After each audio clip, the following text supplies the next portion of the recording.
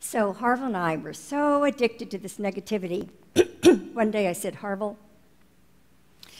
we got to stop this. Um, and he agreed, and we put up a calendar in our, on our medicine cabinet. And every day we had a challenge, we made a challenge.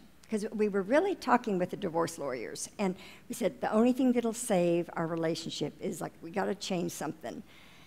And every day, let's, say, let's try to make it through a day without any negativity. And if we make it through that day, let's give ourselves a smiley face. And if one of us is negative, we'll do a frowny face. that was our process, um, starting about 20 years ago, 18 or 20 years ago, and we are still doing that calendar. And it really transformed our relationship. And very interesting, the two people with quite a few degrees among them it took a calendar with smiley faces and frowny faces to let us know how we were landing on the other in our relationship each day.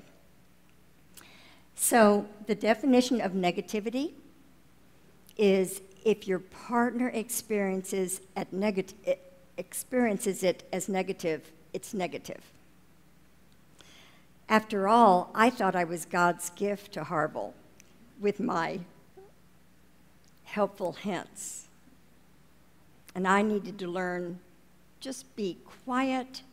If there's something that Harville needs to change, the kids are going to tell him. Or his sister, or one of the Imago therapists.